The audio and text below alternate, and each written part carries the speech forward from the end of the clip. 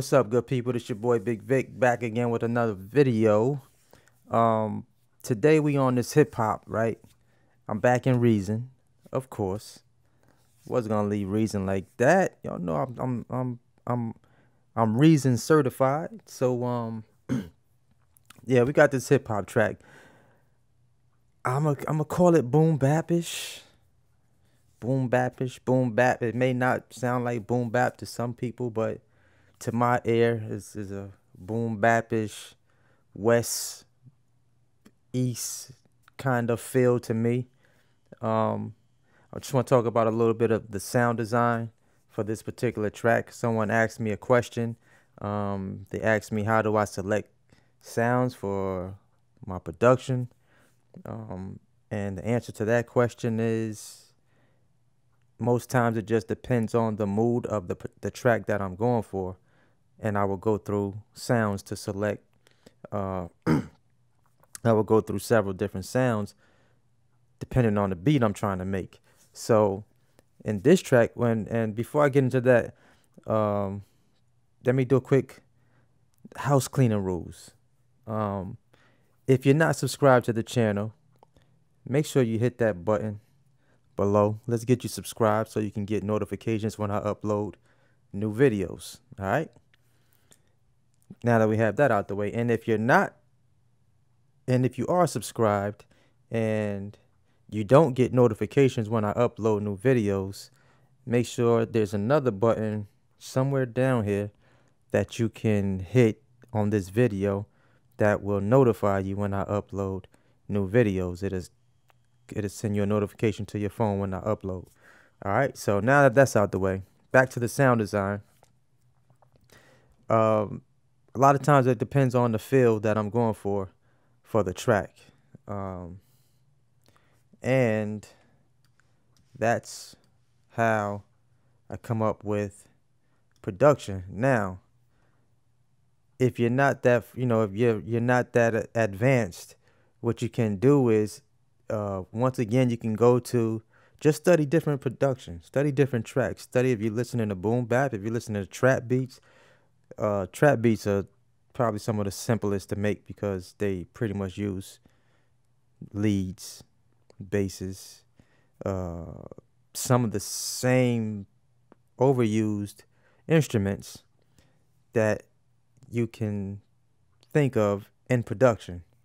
But on the hip hop, boom bap feel, that side, there's you know various different instruments that you could select and using different sounds that you can select. Now, in Reason, a lot of times I do have to do quite a bit of digging to find that sound that I'm looking for um, because Reason has so many different sounds, instruments that you could choose from.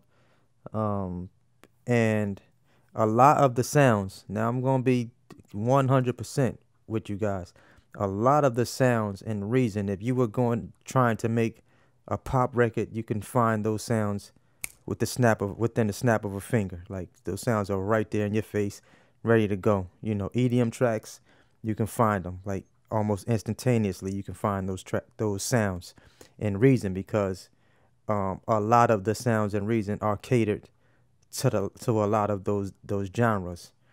So for hip hop I've always had to kind of dig deep and find certain sounds that I feel will work for a hip hop track. And um, that's how I come up with a lot of the sounds. I do a lot of digging in Reason to find those sounds. Now, now that that's out the way, what I'm going to do is I'm going to play the track, uh, that you guys hear it, and kind of go through a breakdown of the track afterwards. So, uh, Let's get into it.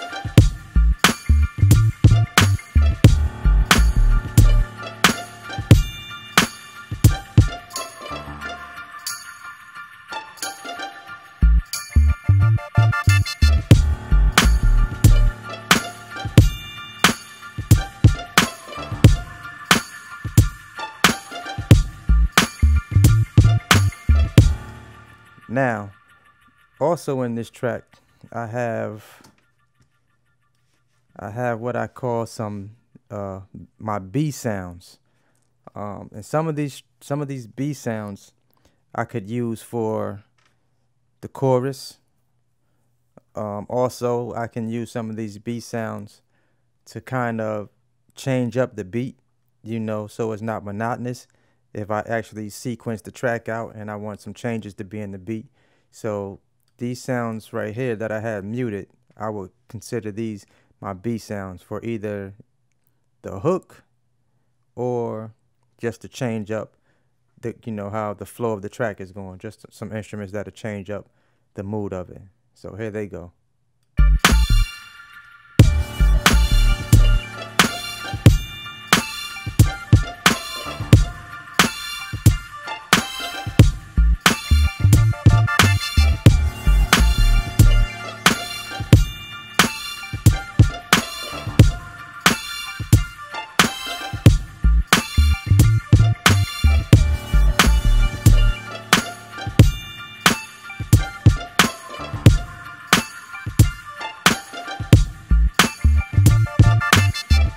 So those particular sounds are like kind of in the cut. So if I'm actually tracking this out and sequencing the beat, I can just, you know, kind of move these around, have them come in and out of the track depending on, you know, where I want them to go. And um, a lot of times that will give your, you know, kind of give your track something a little, you know, some some extra, some extra juice. So I call it a little a, a little boost, just to just to switch up the sound a little bit so it's not that monotonous going all the way through so you can kind of change it up and it get it it's still the same track of course but it's just going to give it just a slightly different feel as people are listening to it or if an artist is on that track. So so let's go let's go just go through and uh check out some of these sounds. I'll mute this and see what we got here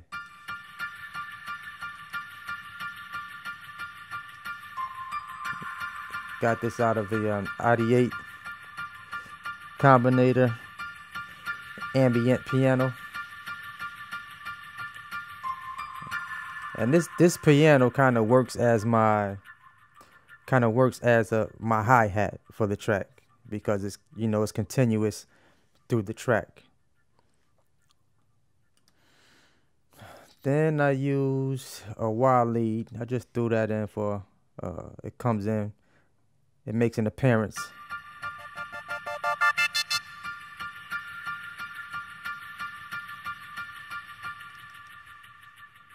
Then we came in and we used the grand piano.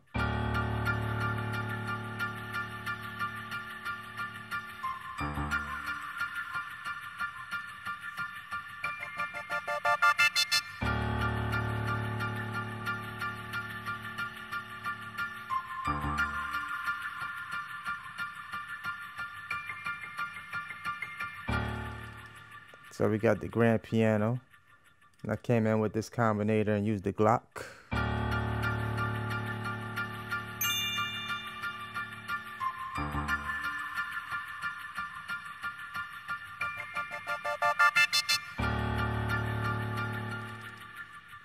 Then we got my bass.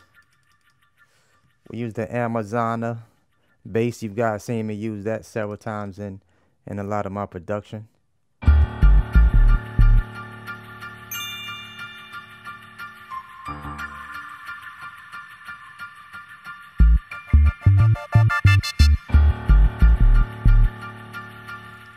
And that bass is so subtle, but it's it's nice and it sits nice and fat in the track. It sits it always sits perfect in the in the track when I use it. Then we got the pizzicato.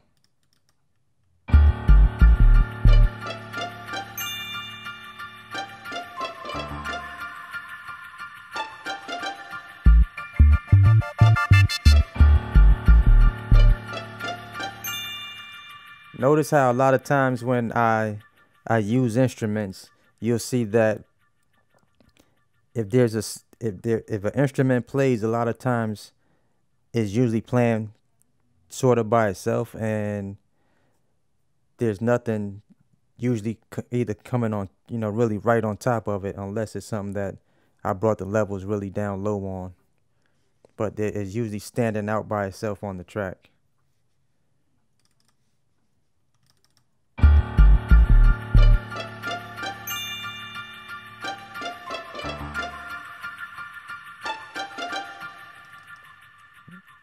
All right, then we got the the Maelstrom. We use the Wahoo Wahoo How Wahoo.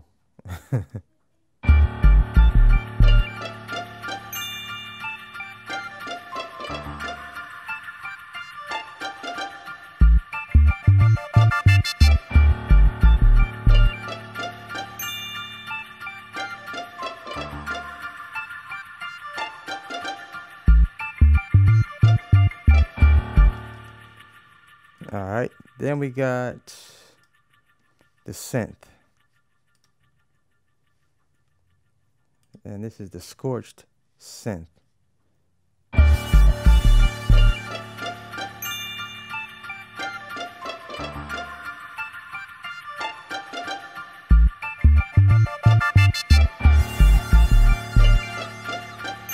And that, that particular synth right there would be one of those B sounds. So a lot of these other sounds I would not. I would have. It would be muted. That sound would probably play um, by itself with probably the piano or something like that, but nothing that would actually make it sound crowded. So that sound definitely wouldn't have a lot of things going on around it. Um, and then we had the the strings. Now the strings would definitely be a part of the chorus.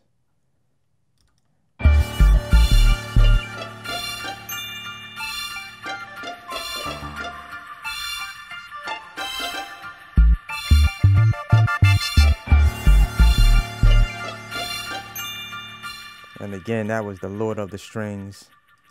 And then we got my tambourines, which came from Dr. Octo Rex. And this was these tambourines are pretty much looped.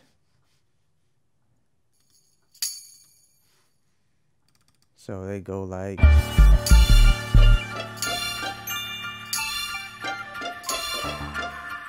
And then of course the drums.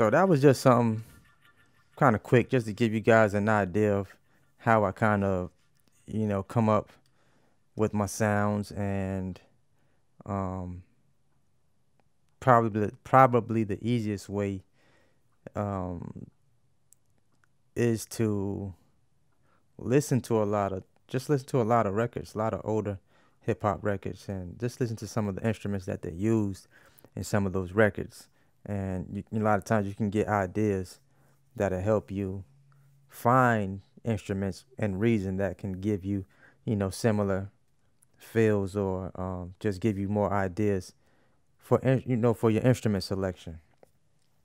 Um, and for certain beats a lot of times it's just certain instruments that's that that's going to work well for that type of production. Um, so that's that's a real important key right there. So that's it for, for that one, y'all. I hope y'all guys enjoyed that video, man. I hope you got something out of it. Um, hopefully it helped you. It helped trigger some more, you know, some more ideas for you and kind of help put you on, you know, on the on the right track for your production. Um, once again, if you haven't subscribed, man, hit that subscribe button. It's your boy Bigg Vic. I'm gonna see you guys in the next video. All right, peace and love.